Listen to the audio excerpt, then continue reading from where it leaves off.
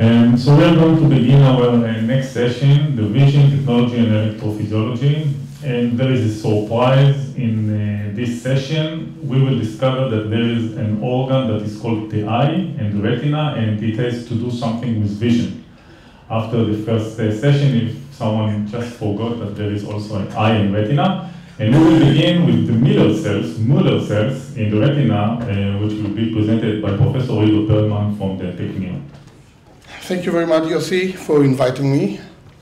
And especially you got my curiosity to come when you said, Ido, we need something about the eye and the retina, and so we will not forget it. Uh, therefore, I chose even a, a, a worse topic. I'm not talking about retinal neurons, but about uh, glia cells. So it will be even further from the, the brain, but it, tells, it will tell you about uh, visual function and visual pathology in the retina because I'm coming from a medical school from the Technion and somehow the uh, retinal pathology is also important to us uh, for our patients. So I'm going to talk about Müller cells and as you, can you hear me without it? You can. I'm always allowed. Do you want to? No, no. Uh, these are isolated Müller cells and they are very long cells and I'll show you in a minute how they look. They have a, a big variety of them. This is from turtle, these are from different uh, mammals, and this is our topic of the, of the of today talk. Uh, if we look at, oh my God, we need the light. Can you turn on the light? This is a beautiful, uh, you know, section. But, uh, anyhow, this is the sketch of the retina uh, the photoreceptors that are uh, responding to light. Then we have second order neurons, uh, bipolar cells, uh, horizontal cells, amacrine cells, and then the ganglion cells that send their axon to the brain for further uh, visual processing, information processing that you know all about. Um, so for decades, when, when the Müller cells were, de were described, these are the Müller cells, this they scan, they scan the entire retinal width from what we call the outer limiting membrane to the inner limiting membrane. It's not good. It was much better before. Better before. Yes. So it's either your computer. Good. All right. Now you can go to sleep if you want. It's okay. Leave it like No, too much. So you can see here a beautiful section of a, Think this is the red retina. You can see the Müller cells. These are the Müller cells. All these cells that span the entire length of the retina from the outer limiting membrane. Their processes make the outer limiting membrane at the photoreceptor level, and their end feet make the inner retinal, uh, inner limiting membrane. Again, this is the entire end feet are fused together. And the first uh, idea when people saw this said, aha, these are like biological names. Somebody has to, the retina has different sections, different layers, you have to keep them together. It's like putting pieces of wood together, and you have to nail them so they, they will not go apart. So they said, yes, the first. Uh, come on.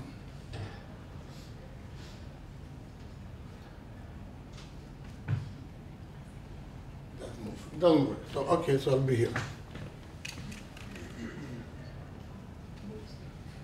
Nothing. Freezes.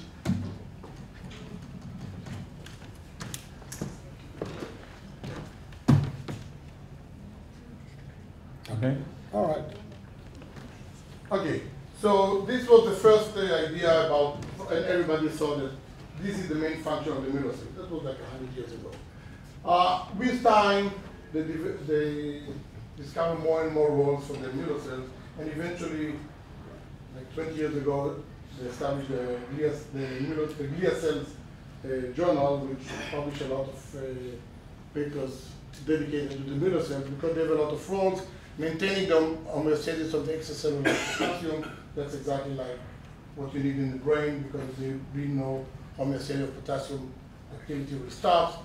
Provide retinal neuron with nutrition uptake of and recycling of L-glutamate, uptake of GABA and glycine, modulate neuronal excitability, they produce D-serine, protective against oxidative stress, participate in recycling of visual pigments, and guiding light from the ILM to the photoreceptors. And I'm going to take all, from all these only two roles, and I'll try to make it, uh, to be able to make it, because usually I don't speak too much. I'll talk a little bit about uptake and recycling of L-glutamate, and then more about guiding light from the ILM to the photoreceptors. So if we talk about if we talk about signal transmission from the photoreceptors, L-glutamate is the excitatory transmitter of the retina, like in the brain. Also, remember the brain is a piece of ret the retina is a piece of the brain. Uh, L-glutamate is the excitatory neurotransmitter of the photoreceptors, and it is continuously released in darkness. So there is a very high continuous rate of glutamate release in the dark, and when there is a light uh, stimulus or there is light, it reduces the rate of glutamate release. The concentration of, of glutamate in the synapses reduces because there is uptake by glutamate transporters. So when there is, when the concentration of glutamate decreases, the photoreceptors are, you can see photoresponses in the second order neurons, in the bipolar cells, and horizontal cells. So in order to take away the glutamate from the extracellular space, we have two types, major two types of uh, glutamate transporters in the uh, in the distal retina and the, in the photoreceptor bipolar cell layer. We have GLT1, which is located mainly in photoreceptors, horizontal cells, and bipolar cells, and we have GLAST1 in the Müller cells.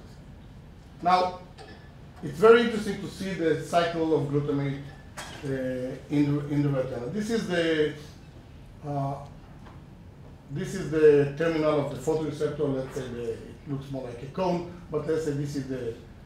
And then you have processes of bipolar cells and horizontal cells coming to this ribbon synapse to get to receive the transmitter, and then this is the process of the Müller cell making the outer limiting membrane. Okay, so there is a lot of a close attachment between all those processes, and glutamate. You can see glutamate cycle in glutamate is released in the dark. There is an uptake through GLT1, and then it's released again. So there is a way to release it in a continuous way. The other, the other uh, cycle is glutamate released from the photoreceptor from the photoreceptors.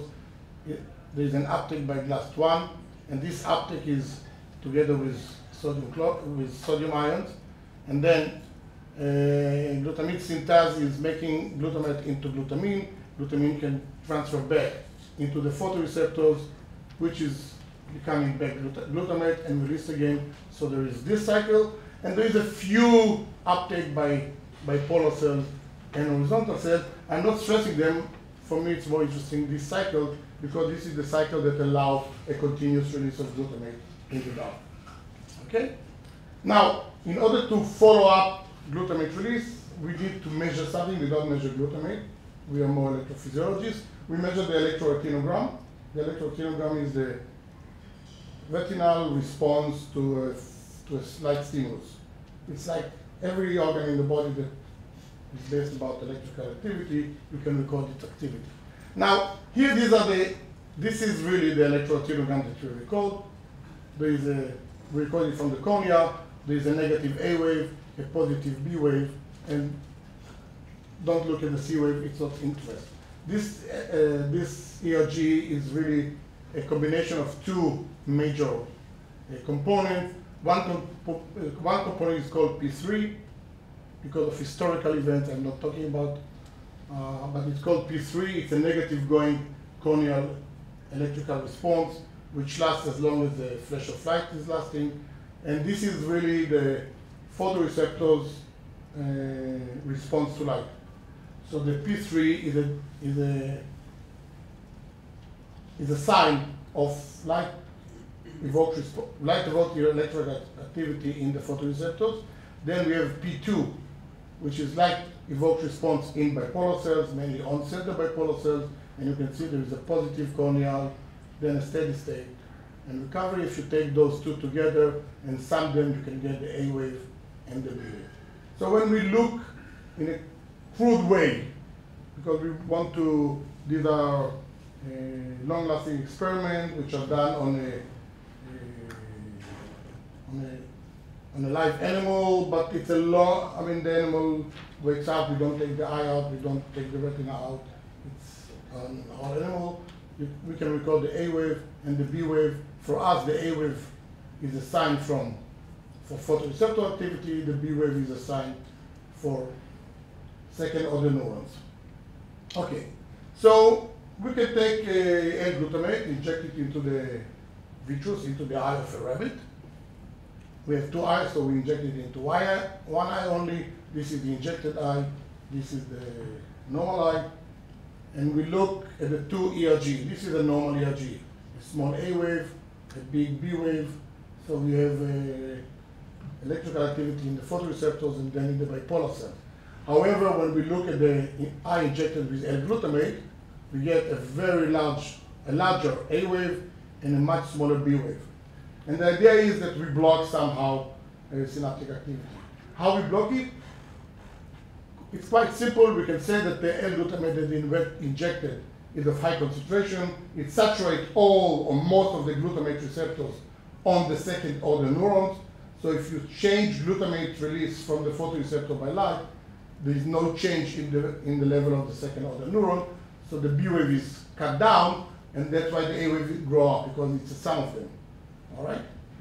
However, if we wait, so this happens about three hours after injection. We know that three hours will take uh, the drug to get to the outer, to the area of the synapse between the between the horizontal, between the bipolar cells and uh, photoreceptors. However, if we wait two weeks and we study again this animal, we can see that we get a better response than here. There is an A wave and a B wave. The A wave become, became a little smaller, the B wave became a little larger, but altogether this ERG is much smaller than this one. And we can wait, this is two weeks after, we can wait four weeks, six weeks, eight weeks, it doesn't change. So we got a retinal pathology. Somehow the outer retina is not functioning well, it is sort of dying. And then we look at the section of retina, and you can see this is the normal retina from the good eye. These are the nuclei of the photoreceptors. These are the inner uh, nuclear layer of the bipolar cell mirror, uh, horizontal and, and the amacrine, and these are the ganglion cell layer. And if you look at the injected retina, you can see that you don't see much retina. There is some nuclei in the outer nuclear layer, no inner segment, outer segment, most of them are not functioning. There is death of the ganglion of the inner nuclear layer and almost none of the of the ganglion cell layer. And yes, this retina is definitely damaged compared to this.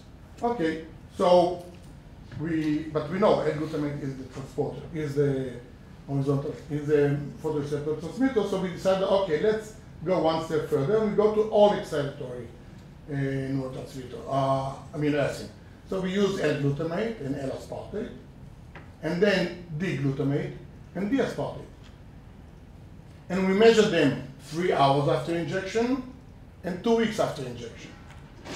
And you can see when the, when the goes up and the A wave sorry, the A wave go increases and there is no B wave, this is a block transmission.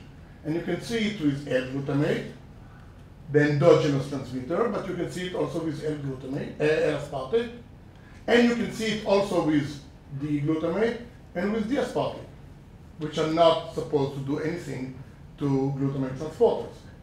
When you wait two weeks, okay, if everything is one, this is the, we, we compare the good eye to the bad eye, you can see there is a some damage. The B wave is very much uh,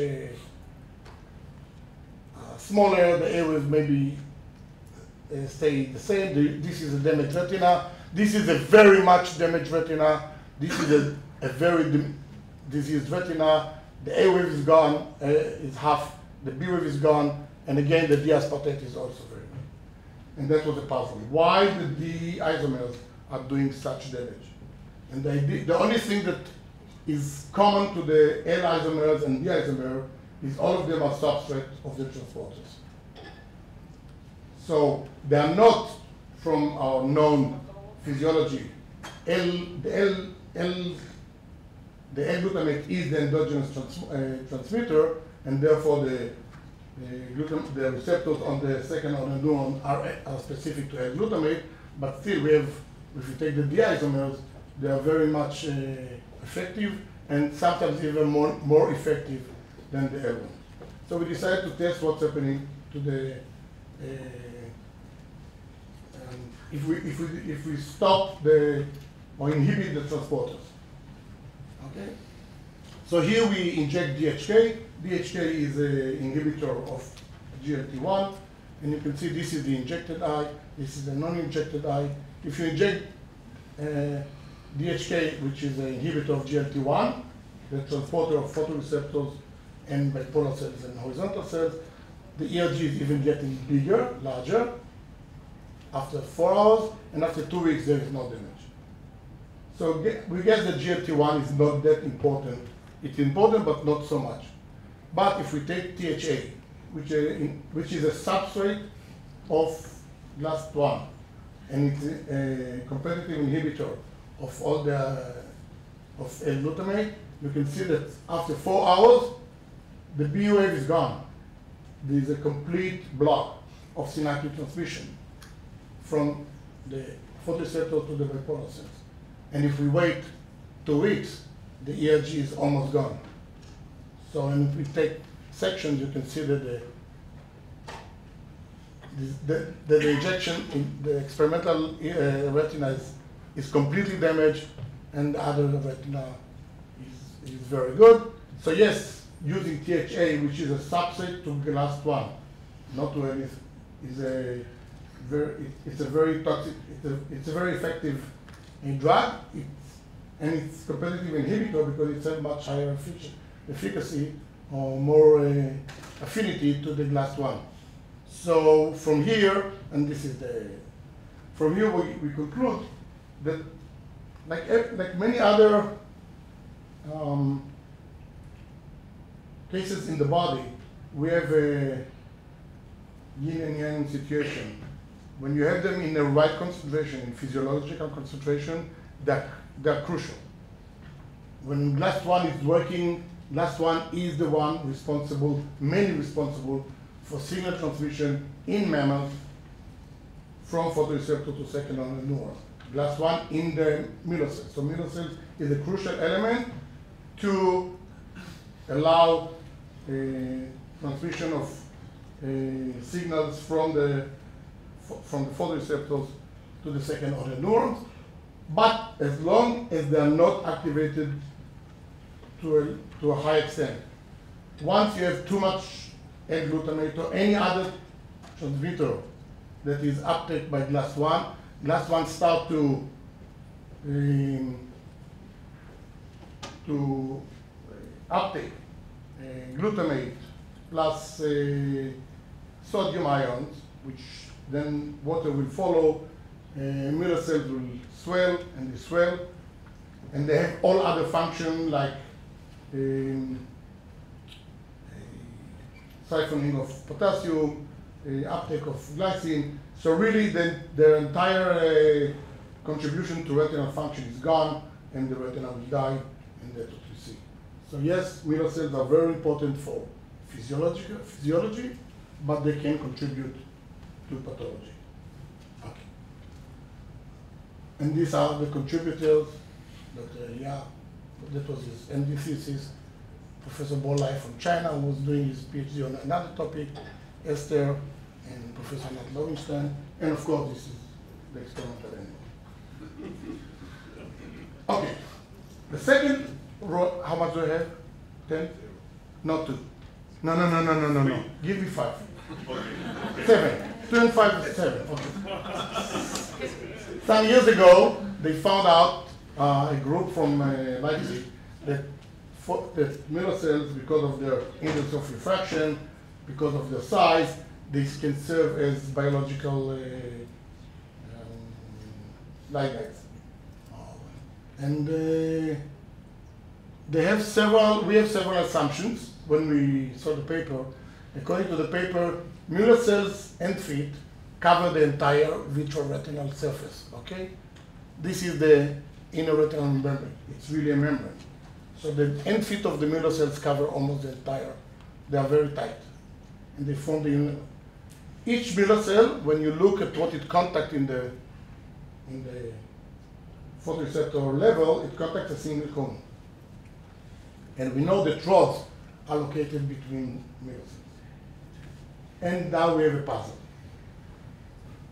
If um, Mueller cells guide, they collect all the light that falls on the inner, on the retinal surface and guide it through their optic fiber uh, properties to the photoreceptors, to the single cones, what will happen for the to the rods that are in between um, those light guides?